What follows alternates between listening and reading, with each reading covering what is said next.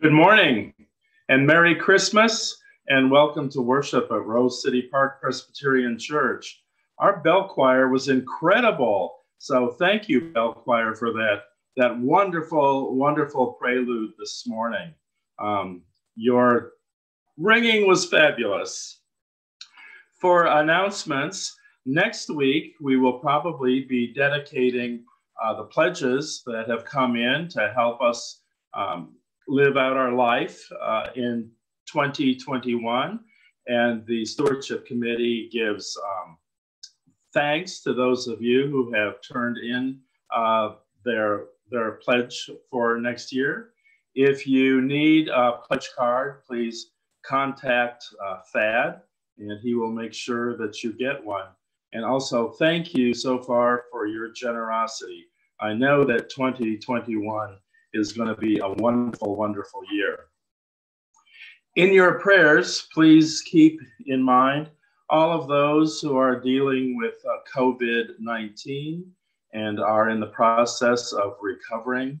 Uh, remember those families who had an, uh, an empty chair at their table uh, over the Christmas holidays or who were not able to be with their loved ones.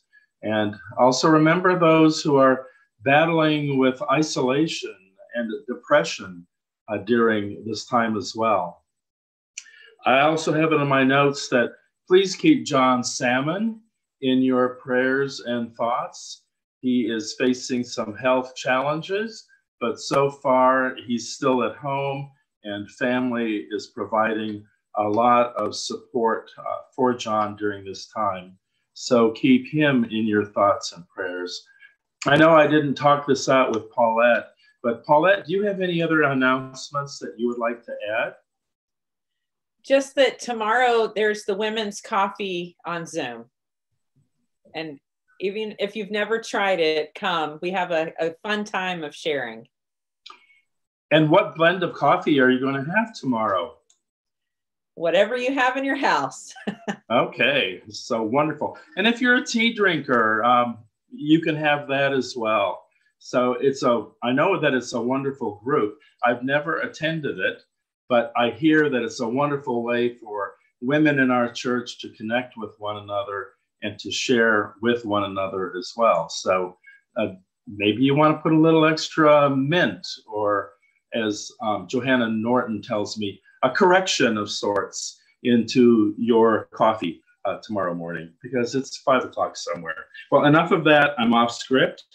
So let's begin our worship as we have our call to worship for the new year.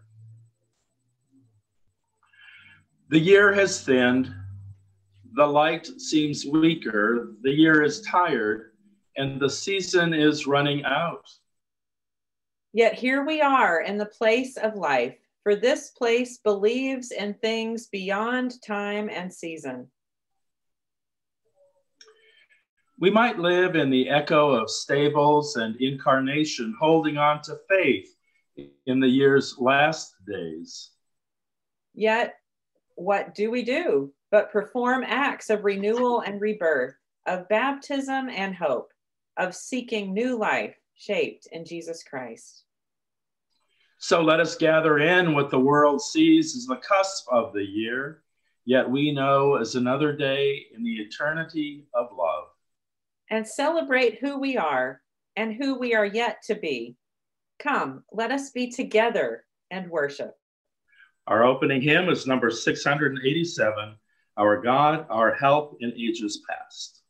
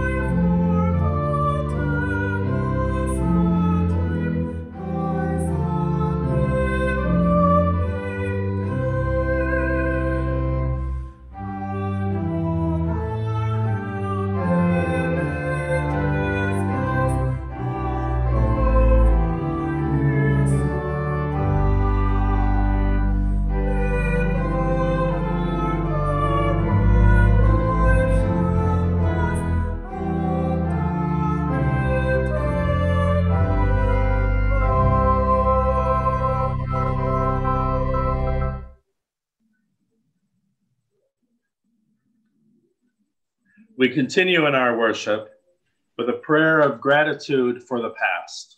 Oh, Great God of our lives, you have been faithful in years past. We thank you for your goodness towards us and for your grace which has sustained us, and for the gifts of life and vitality for friends and loved ones.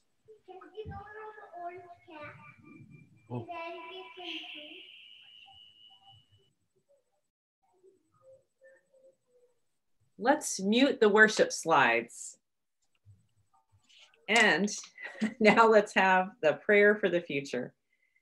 We give thanks for Jesus Christ, who is the foundation of our hope and the one who leads us into the future. May your purpose be seen in our lives and your grace and hope shine bright in this world. We ask no other prayer other than that you would be with us in the new year, which is about to dawn. Lead us into greater service as we seek to take, to take Christ to others. And may we do so without fear as faithful followers. Through Jesus Christ the Lord. Amen. And now we have hymn 827, O morning star, how fair and bright.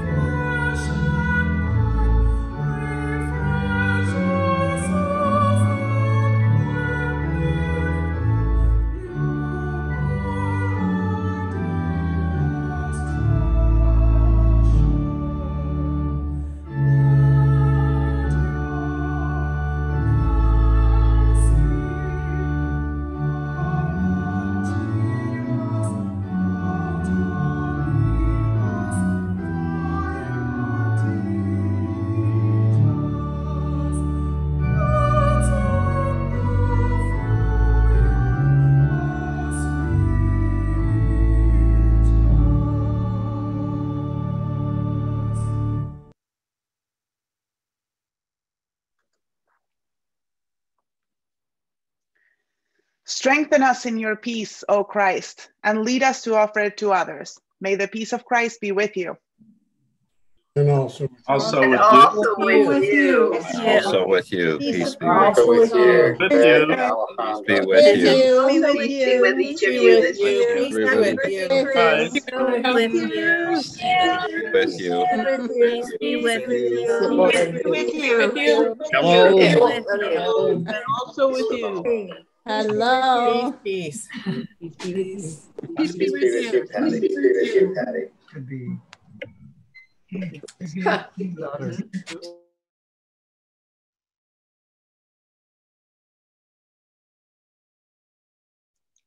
And now we have the moment with the children. And Ray and her grandchildren put this special message together. I'm Paul the tiger.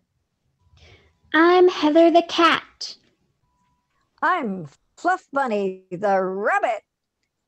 I'm Huggy the monkey. We are cousins and we live on Billy's bed. You know, Christmas always makes me feel like I should set some goals and get some things done. Does anyone else feel like that? I always feel like that. I always have goals, but I never live up to them. Well, we could start practicing. Let's think of some things we want to accomplish in the I love to travel. I'm going to try to go clear down to the pond. I want to be able to do a really hard football trick, but I don't know how to do it at all. I want to get all my math assignments in right away so I can get a good grade. Hey, Paul, remember how we practiced kicking the football? Yeah, I do remember when we were learning how to to kick. What's your new trick going to be then, Paul? I want to know how to run down the field and catch the ball. Well, you need someone to throw the ball for you. I'll help you practice, Paul, but can you help me with those fractions? There's so many of them. It's so confusing. Really? You would help me do that? I then I'll help you too. Fluff, I'll help you get to the pond. I'll swing through the trees and lead the way. But but our goals don't remind us at all of the baby Jesus. Well, baby Jesus helps us do all types of things. Baby Jesus encourages us to help each other. So that should be one of our goals. I think that helping each other grow and learn is a great goal for the new year. I love to travel the neighborhood, so I know that some neighbors need help too. Remember that saying, love your neighbor like you love yourself? Hey, I have an idea. Let's go rake leaves for the man across the street. Yes. Yeah. Let's do it. Yay! Yay.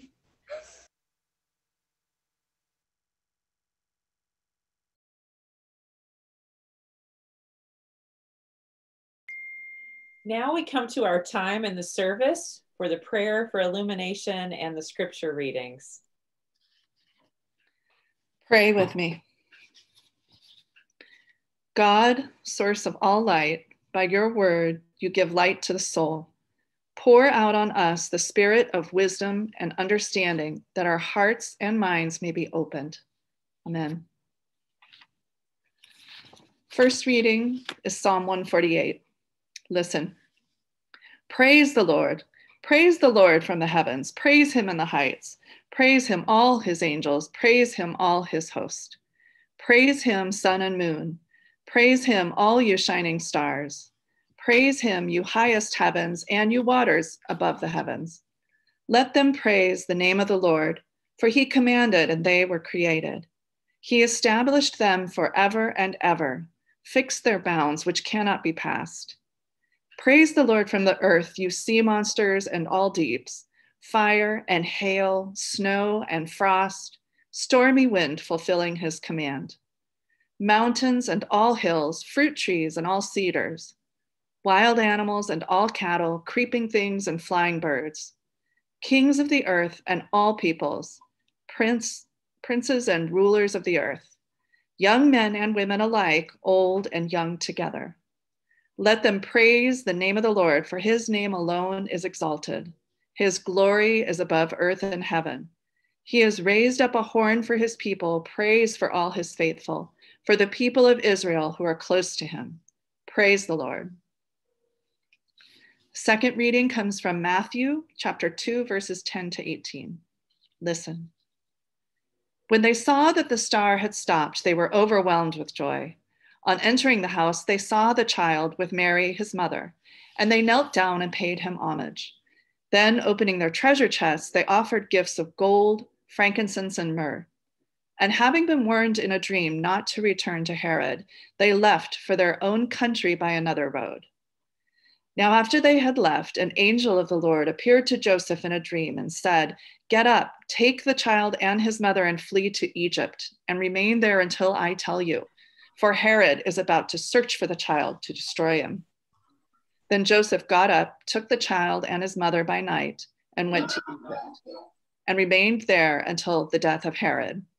This was to fulfill what had been spoken by the Lord through the prophet Out of Egypt I have called my son. When Herod saw that he had been tricked by the wise men, he was infuriated, and he sent and killed all the children in and around Bethlehem who were two years old or under, according to the time that he had learned from the wise men. Then was fulfilled what had been spoken through the prophet Jeremiah. A voice was heard in Ramah, wailing and loud lamentation, Rachel weeping for her children. She refused to be consoled because they are no more. Hear what the Spirit is saying to the church. Yeah. Thanks be to God.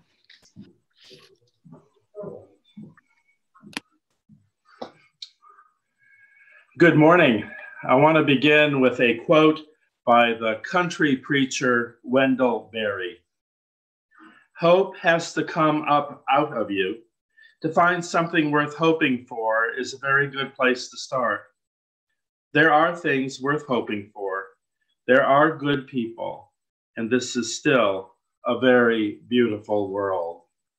I know that in terms of uh, the scripture for the morning, I'm kind of pushing it a little bit uh, toward, you know, toward Epiphany, and but I'm not going to talk about the wise men at all. Um, I will leave that up for the wonderful preachers that you're going to be hearing during the month of January. So here we are, folks. I hope that your Christmas celebrations, such as they were, contain the elements of hope, peace, joy, and a lot of love. You know, and that you manage to find a new way in which to celebrate together.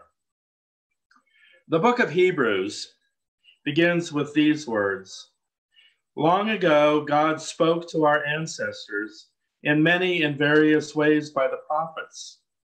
But in these last days, God has spoken to us by a Son, whom God appointed heir of all things, through whom God also created the worlds. On Christmas, we celebrated the arrival of Jesus Christ, born into human flesh, into human joy and pain, and human life and death. Thursday evening, we reflected quite a bit on the words from the angels about not being afraid. And those words seem to be very appropriate for you and for me as well right now. Uh, do not be afraid. It was Auden who wrote, Now that God has come to earth in the form of Christ, our task is not to long for something that is not here, but to surrender to the reality that God is here. God is here all around us. So if we, as the poet, surrender to that reality that God is indeed here, loving us and guiding us and calling us, how would that change how you and I live our lives? How would 2021 be different for us or for you than 2020? Would you be more confident? Would you be less anxious, afraid, or overwhelmed? Would you feel stronger or clearer? Would you pray more, be uh, open your hearts to God's presence and to listen for those whispers of God? Would you trust more? You know, if you and I surrendered to that reality that God is here loving us and guiding us and calling us, how would that change how you and I live? What do we have right now? Let's think about what we have. We do have God with us, Emmanuel. in Christ who calls us sisters and brothers to him. We have a God who knows what it is like to be us. And we have a God who has been tempted and tested and who has suffered, but who has also risen to new life. You know, over the years, and in my time with you at Rose City Park, I've often used the phrase that we are on a journey. We're on a journey together. We are on a faith journey, that all of us are in process. We're on a journey toward God and God's dreams for our world. And scripture says that Jesus is the pioneer and perfecter of our faith, and he is offering us hope like food for our journey. The process of perfection is the process of becoming more mature in our faith. And I hope that in our 20 plus years together, that in some way we have become more mature in our faith, that we have become more rooted and grounded in our faith, that we have been able to sometimes focus our thoughts a little bit more, and we open our hearts to dreams and possibilities.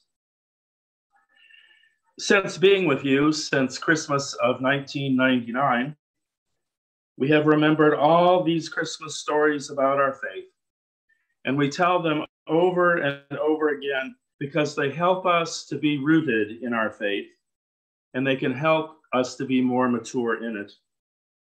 You know, during Christmas 2020, we've been talking about the light that shines in the darkness and how the darkness has not overcome it. And this is the light that shatters gloom and disperses shadows. It's a story of hope, but it's one that we need to hear again and again to be continually reminded of. Because if we pay attention to the world at all, we keep hearing the stories like the one we heard from Matthew's gospel this morning. In Matthew's gospel, we listen to the story of a ruler who runs and runs and rules. I mean, he rules from his fear by destroying other people. In this case, the ruler is destroying the truly helpless ones. He's destroying the innocents. You know, I think sometimes it's very easy for us to lose hope when we hear such stories. That story in Matthew. And yes, we even hear stories in our world today about people who are just kind of hanging on by a thread, you know, for survival in their lives, when there could be some solutions that could provide at least some help along the way. You know, sometimes I just want to turn away and I want to forget about all the bad things that are happening because it's very difficult for me to hear them. You know, I want to turn on the Hallmark movie where you know everything will be happily uh, ever after at the very end. We want to stop things that we cannot personally stop. We want to undo things that been done. But sometimes what's done is done, and you and I cannot undo it. Yet some things are so much bigger than we are that we simply can't change them just because we want to. There are certainly wars and rumors of wars. There are refugees with no homes and immigrants trying to make a way out of no way. There is hunger, there's homelessness, there are tent cities, there's violence in our streets, in our very own community. And there's COVID 19. And there's all manner of uh, loss and grief in our world that can just bring us to tears and bring us to our knees. In the face of such terrible things, Poet Clarissa Estes writes this that we might have a tendency to veer toward fainting over how much is wrong or unmended in our world comes from her poem entitled We Were Made for These Times. You know, fainting is a way for you and I to go to sleep because we just can't handle what we see. Do not focus there, though, the poet says. Do not allow yourself to faint or to turn away. On the other hand, she writes this there is also a tendency to fall into being weakened by dwelling on what is outside your reach, by what cannot yet be. But do not focus there. that is spending the wind without raising the sails. Does that image speak to you in any way? It speaks a bit to me. Because when I dwell on those things that are beyond my reach, the things that cannot yet be, it's as though there's a great wind whipping around me, but going nowhere. And I feel, and I fall into a sense of weakness because of the forces of harm and evil are so much bigger than I am, bigger than any of us as individuals. There's not just one King Herod, but many who destroy and clutch for power in our world. So, in face of all of this, do not faint, the poet says, and do not fall into being weakened by dwelling on that which is beyond your reach. In her poem, she paints an image of us all as ships, and we are all ship, ships on rough waters. And she says, We are made for a time such as this. I'm going to leave the poet's image with you as you at Rose City Park go into the new year. Rose City Park, along with me, is going to go forward into some uncharted waters. And I think that both of us need to be thinking about focusing our efforts in a new year in a new way. The world is our rough water, and the winds do indeed whip around us, but we are seaworthy. That's the thing to remember. And if we raise our sails, we can catch the wind and move in a direction we choose, being guided by the Holy Spirit. And so, remembering that and truly believing that can give us both hope. But as I said, sometimes I lose hope, I lose my focus. And I know I'm not the only one. But when we focus on those things that are outside or beyond our reach, we spend the wind without raising the sails. And the wind does not move us along. And we spin and spin and spin. So focus and focus on those things that are inside our reach.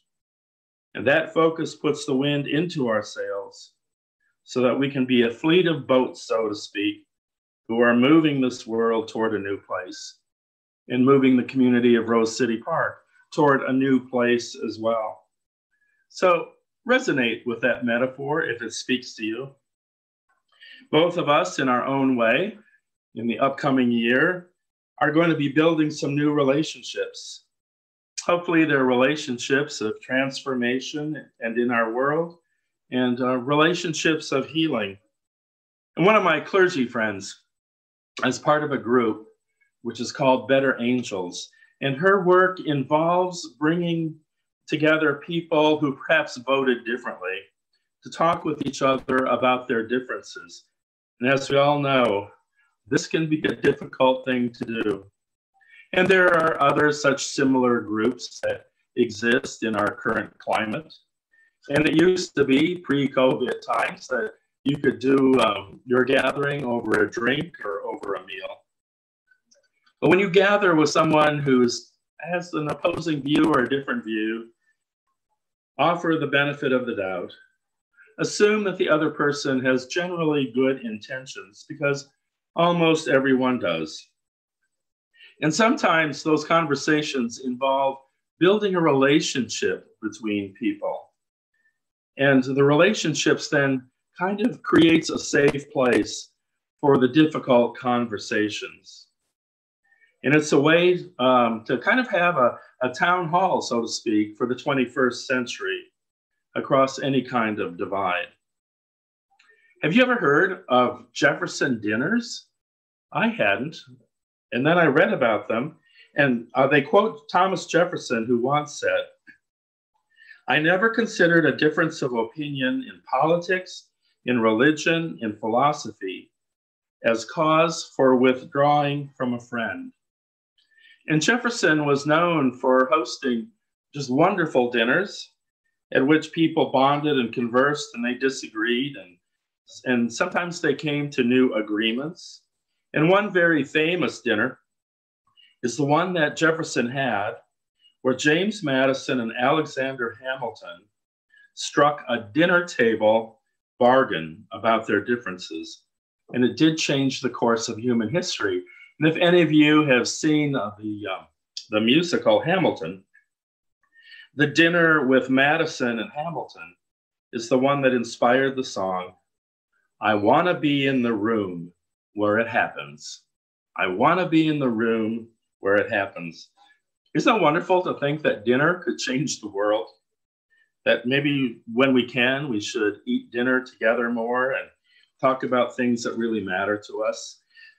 Coming together can really change the world. Building relationships, knowing each other, it changes the world.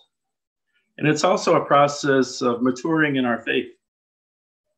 It's a process of participating with God in God's vision for our world. You don't have to do it alone. None of us have to do it alone. But God can ch- change the world, you know, because God has that power, but God does need our cooperation. Can God perform miracles? Yes, I believe so. I think God can and sometimes does. But changing the fabric of our society, the shape of our world, for that, God needs us. God needs you. God needs me. And believe it or not, you and I need each other. In the year ahead, you folks at Rose City Park are going to have all kinds of conversations about the future of this wonderful congregation. But we already have a program called the Tables of Eight, Tables for Eight. And maybe you will have virtual tables of eight, I don't know. But all kinds of ideas are going to come forward about some wonderful ideas for this congregation. And there might be times where there's going to be some pretty serious disagreement about where the congregation is headed or what type of leader is needed during this particular time. And as Presbyterians, I know that somebody, it might be the presbytery, is going to say, let's do a mission study. And some of you may just groan. It's like, been there, done that. We have the t shirt. Yet, we already have a vehicle for getting folks together with different ideas and dreams. So, can we focus our minds and our hearts enough to do the next good thing? Can we raise our sails and let the wind catch them? Can we be about building relationships at Rose City Park Presbyterian and be, be able to transform into something new? You know, Tom and I, we some, this is where I'm going off script. So it'll be the last time. So some of you people can say, yes. But anyway, Tom and I often have conversations about music that we listen to. Uh, in our adolescence or misspent youth. And so here's how sometimes the conversation goes Tom really liked the Rolling Stones. I liked the Carpenters. He really liked the Grateful Dead. I liked Captain and Tennille. He really got into Led Zeppelin. And so in my wild uh, misspent youth, I really got into the Statler brothers. And he always says to me, he says, Well, you were a good boy, and I wasn't. Well, yesterday I was at the church office and I was sorting out record albums. And I just broke out laughing because I had my Captain and Tennille uh, vinyl collection there. And, um, and I thought, here is the answer. Here is the answer to all the world's problems and the answer for you and the answer for Rose City Park Presbyterian Church, the Holy Spirit is working. And it was because it was of the Captain and Tennille's song, Love. Love will keep us together. And so I kind of got my boogie on a little bit in the office and remembered love. Love will keep us together. So that's some of my Dornack advice coming from an unusual place. So share the stories, reach out to each other, listen to each other, listen to the longtime member and also the newcomer, and distill the wisdom and recognize the inherent worth of each person contributing to the conversation. And this, and this doesn't come from Captain Tennille, but it could. And when you add your small part, It's because that is how you and I love each other. It's how we love the world. And we do it by one brave action at a time, one conversation, and maybe just one kind of kind word, or one new program, or one new social justice campaign. Or it might be one dinner that provides a respectful and a safe place to talk. Fear's not going to be enough to motivate us. Guilt's not going to be enough to change the world. But we need love and we need longing. We need beauty to fill our souls and transform us. And as that uh, farmer poet, Wendell Berry, says, we need to remember that this still is a very beautiful world. So lean into the power of God's love for you. Let God fill you up and begin to heal the broken places in your heart. In prayer, pour out all of your fears and rage and anxiety at the feet of God. And remember all the things and remember all the people that you love. And let these things fill you because it's our love that's going to make us strong. So, as the new year approaches, let's make a pledge or renew an old pledge that we're going to strive to follow Jesus we will follow Jesus just one step at a time, one prayer at a time, one act of kindness at a time, one brave risk for love, and a flash of honesty now and then. Christ is the pioneer and perfecter of our faith. So, one foot ahead or behind the other, let's follow our Lord uh, into the new year and into the wonderful adventure that awaits Rose City Park Presbyterian Church. Love each other. Be kind to one another. And be kind to one another even when you disagree. And I guarantee there are going to be moments ahead when you are going to disagree. But still remember to love one another. Okay. It's been my honor and my joy to minister among and with you. You have taught me so much. You will continue to hold a very special place in my heart as well as my prayers. So, as I've said so many times before, continue your faith journey and journey well. May it be so. Amen.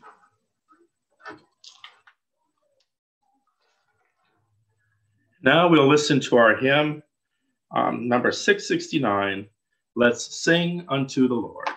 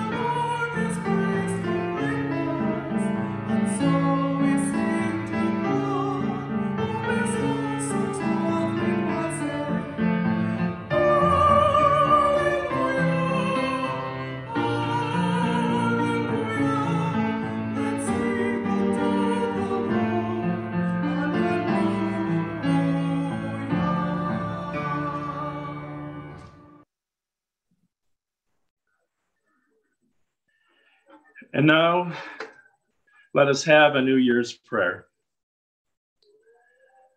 We come like the Magi, as wise and foolish women and men, to kneel before the Christ child, and we bring our regrets from the past year, our shame, our guilt, acknowledging our failures and ready to begin anew. We come like the shepherds from out on the rough hills of life, bringing our memories, memories of danger, suffering, or grief, bearing our own hurts and carrying the pain of those around us, like lost lambs in our arms. We come like Mary and Joseph, excited by new life, promises of hope, joys remembered from the past, progress made, and achievements that light up our year. We come like Mary and Joseph and the baby fleeing from Herod at one with all who seek asylum and languish too long in detention centers and with those who have not escaped but wait for liberation. And we come like a baby wrapped in cloth and laid in an animal's feeding trough, looking at the faces of children everywhere who suffer the effects of poverty and malnourishment and remembering those who still suffer the impact of natural disasters, such as earthquakes, tsunamis, and failed crops. And now that we must go to our Nazareth, our Galilee, our Jerusalem, our new year, you will announce good news to the poor, and we want to be there. We all want to be there. And now in the chat, let us uh, lift up our prayers for the future as well, or for the new year, and for joys and celebrations. And Paulette will read them, and then she will conclude with the Lord's Prayer.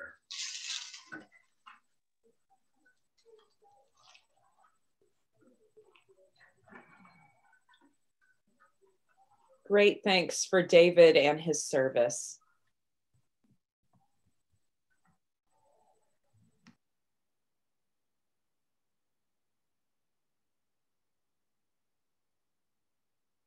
To be with David in his new journey.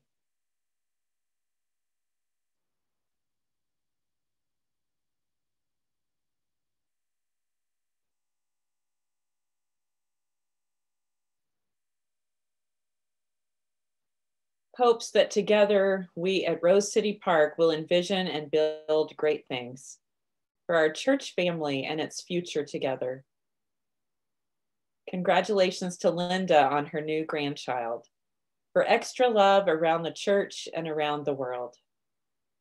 For the hope of a vaccine and the continual care of the health workers. Prayers for a joyful and fruitful retirement for David. That love will keep us together. Prayers for John and Johanna today. Love will keep us together for our city that despite lockdowns and pandemics, we can still find ways to be with our friends and family.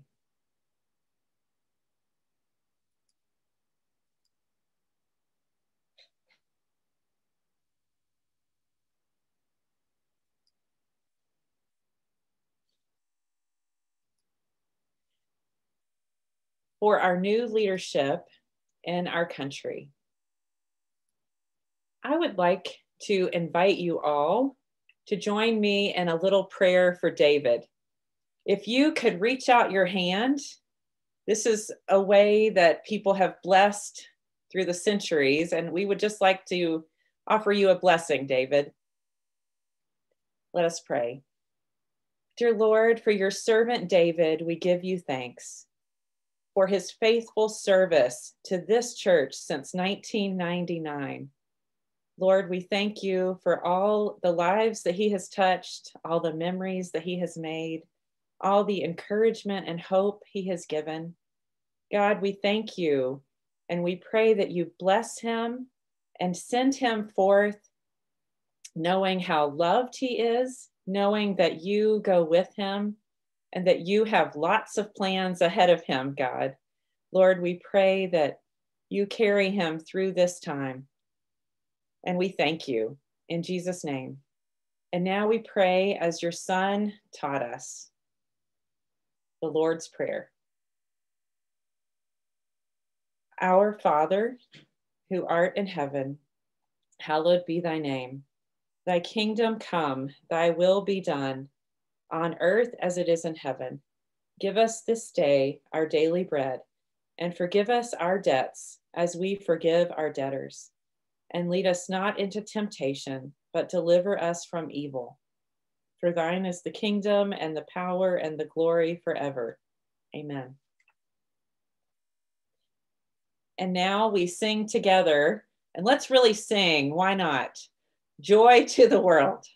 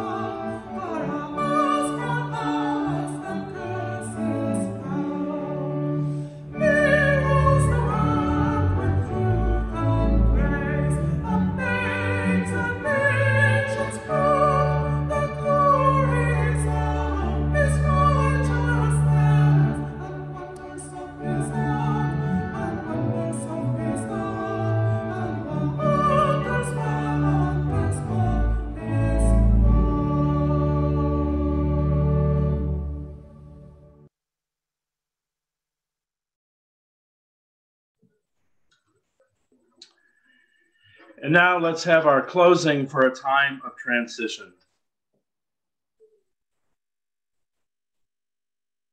God of love, you are with us in every transition and change. As we enter into this new era with excitement and even some anxiety, we recall your deep compassion, presence, and abounding love. We thank you for the gifts, talents, and skills with which you have blessed us. We thank you for the experiences that have brought us to this moment. And we thank you for the work of others that gives breadth and depth to our own work. Be with us as we move forward, rejoicing with you and supporting one another. We ask this in your holy name. Amen. Thank you.